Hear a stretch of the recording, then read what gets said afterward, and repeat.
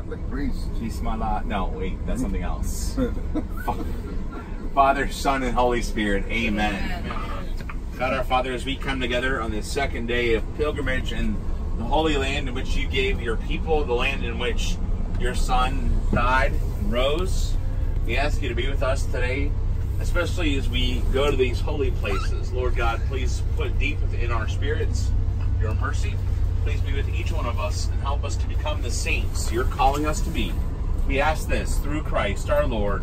Amen. Amen. In the name of the Father, the Son, and the Holy Spirit. Amen. Amen. Here's the Mount of Beatitudes. We're approaching the mountain where Jesus taught the Beatitudes for Mass.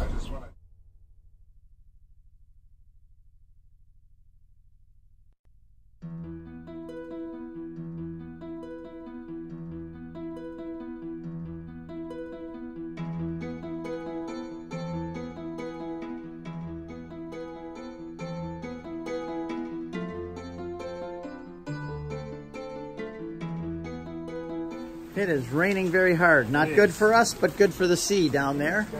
But we all have a nice outdoor mass covered.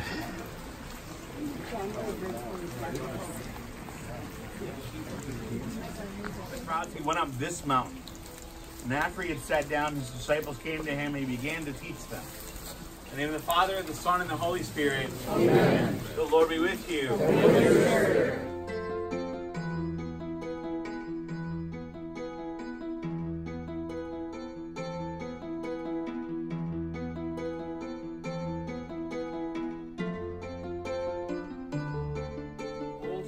him takes with his sins the world. Blessed are those called to the supper of the Lamb. Lord, I am not worthy that you should enter under my roof, but only say the word, and my soul shall be healed.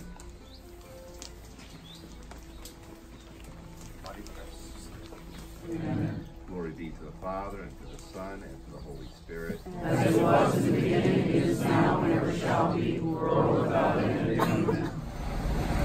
Just take a look at the buses here, lining the parking lot. People from all over the world. And this is only the middle of February. He was telling talking to people about being saved. And he started talking to me and I, I was I was kind of stumped and flummoxed. And so I uh, made me start thinking about my faith more and more as a 15 year old. And uh, at that time, I don't feel like I had a good, really good theological basis. I feel like I'd been handed a lot of mush in my faith. testimony together since we're both on the bus, which is kind of nice because normally I don't get to uh, travel to the Holy Land with my husband, so uh, appreciate the opportunity. What we're going to do, what we do for our testimony is we lead you through our, our journey back home um, from the church to the church, back home to the church, with scripture from 17 years later, still on the air. So, bottom line, when you wrestle with God, as long as you understand that He's going to win, you're going to be okay, and that's the best place you can be. And that's our story, and we're sticking to it. Thank you very much.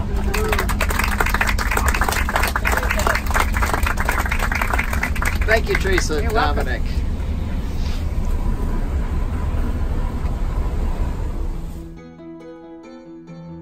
Apples and pears and apricots and cherries. And We're now arriving at Banias, or biblical Caesarea Philippi.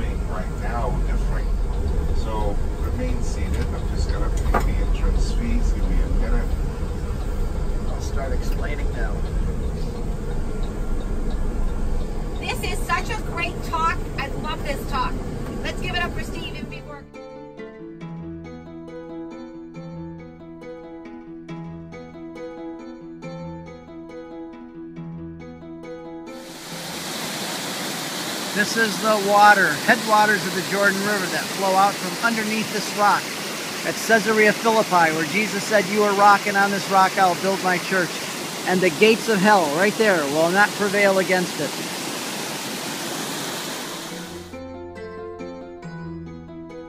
This is for the whole Ray family, all of our great grandkids and wonderful new baby Peter. We're at Caesarea Philippi right now where Jesus named Simon Peter and that means rock and I've got a nice couple of rocks here that I'm going to send to my new grandson Peter right from this place the week he was born. We're here in February with lots of rains so look at the water.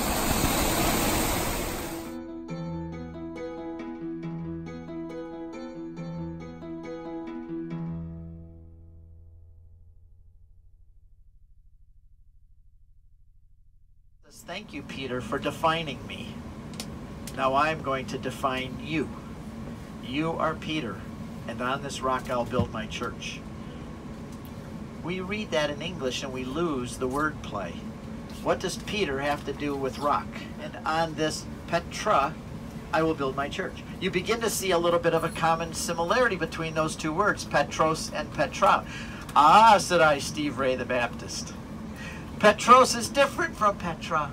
You Catholics say that Peter is the rock, and on this rock the church will be built. But Jesus said, You are Petros, and on the Petra I will build my church. So we used to say that it was the confession of Peter. It was his. There, we're arriving for lunch. People are getting off the bus. Lebanese restaurant here in the Druze country. Just made all the fresh falafels. Big fella. And they go into this sandwich right here. That's what everybody, a lot of people are going to have falafels. And look at all the salads too that they go, they, these things go in the falafels and in the Druze bread. There's the drinks. Everybody's going to be seated here and have their lunch. Druze bread sandwich. Here we are at the Le Ren Lebanon, Ren Lebanani restaurant. Lots of good salads. Also, they got some chicken cooking. That's not for us, but that's a nice grill where they. So, what do you think, Cheryl? Is it all right? Oh yeah, this is really delicious. I took pictures of it and I even opened up to show what's inside. Good. You like the falafel? Very good. Very good. Great. Thank you. Everybody enjoying the sandwiches? Good. Very good. Got a big dinner coming, so we have a simple lunch today. No, we haven't even done it. There you, you like it, Dennis? I like the falafel better than the Drew sandwich. All right, I, like, the, Druze. I like the Druze better I like too. the Druze. Well, at least you have selections. It's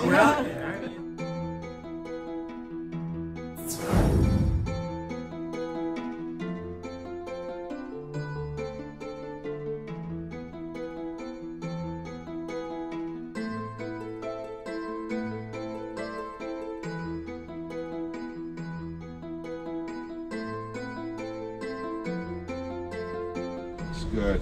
There's the Jordan River, very full of water today. Yeah.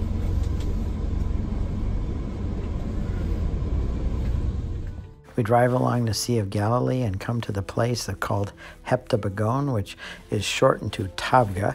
This is the church of Tabgha, where the multiplication of loaves took place.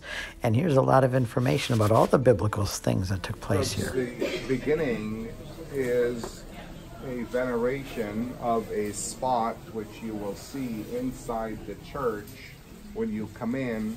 Under the altar, you're going to see part of a rock sticking out from the mosaic floor.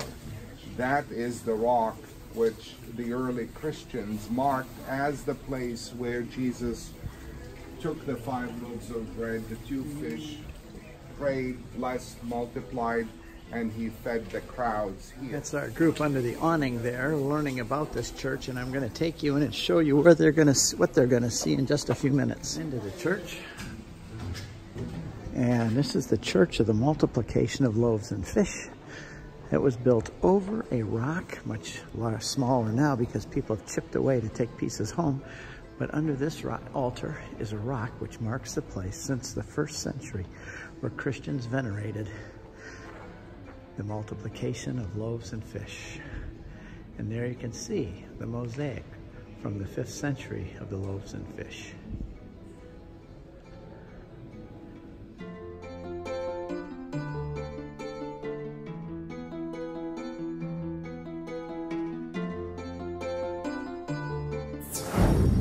Peter's primacy is Teresa Tamio's favorite place in the Holy Land, and we arrive here at the church, and I give a talk about John chapter 21, which is what happened here, and I explain all the deeper meanings of it. Peter, it says that they came back up here after the resurrection, and Peter's a fisherman, and I think he kind of had a, well, what are we going to do now?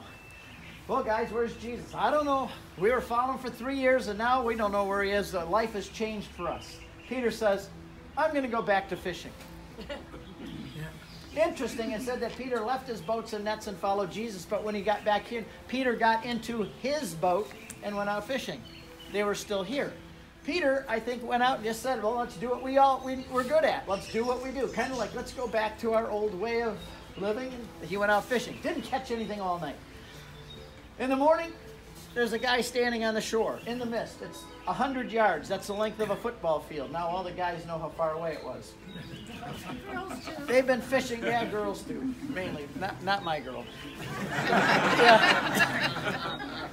The, the fishermen out there didn't catch anything all night long. They're very discouraged and frustrated. They hear a voice from the shore Cast your net over on the other side. Peter yells back, Don't tell me what to do. I'm the master fisherman and you fish at night, not in the morning. No, he didn't do that. Why he threw his net on the other side, I did not know because he didn't know it was the Lord yet. We find out that he found out it was the Lord later. Throws his net over on the boat out there, 100 yards out. They catch a lot of fish. How many? 150. Very good. I always used to say 157, and I didn't know why. Then Janet says that's because there's 157 Heinz ketchups, that, you know. So that was stuck in my head. At the Church of Primacy, and I'm going to go in and show you the Mensa Christi, the table of the Lord, where He fed the disciples. In John chapter 21.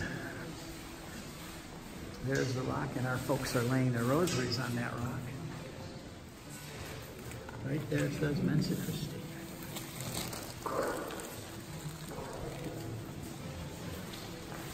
was here at this church, the primacy of Peter in the 380s, and she said when we came to the place where Jesus fed them breakfast in John 21, there were steps uh, carved into the rock. There we went up, and that there were three hearts. I love you, I love you, I love you. Those have been here from well before 380 AD. There's the Sea of Galilee where Jesus said, throw your net on the other side, and brought them in and gave them breakfast at the rock that we just saw inside of there. So we're arriving back at the Ron Beach Hotel for an hour and a half free time to regroup before we go out to the Magdalena restaurant.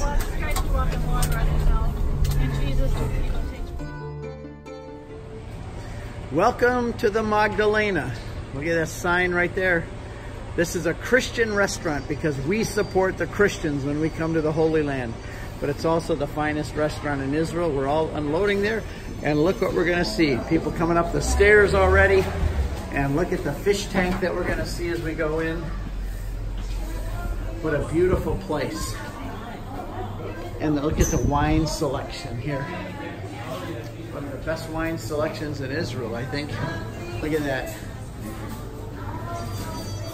So welcome to the Magdalena restaurant. Here's the bar, by the way. You're not going to run out of choices here. And there's our host, Amir, who is welcoming us all to dinner. And here's where our group is going to be seated, right here. This is all our tables. Welcome to the Magdalena restaurant. We are about to receive from thy bounty, Christ our Lord. Amen. The Father, the Son, and the Holy Spirit. Bon appetit.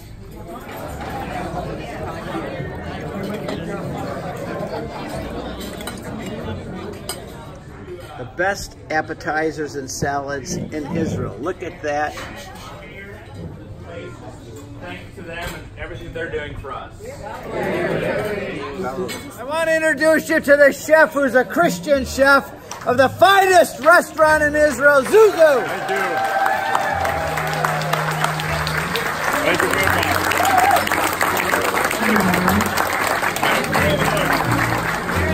Thank you. He wants to know if you enjoyed the dinner. Thank you. Thank you. Thank you. Thank you.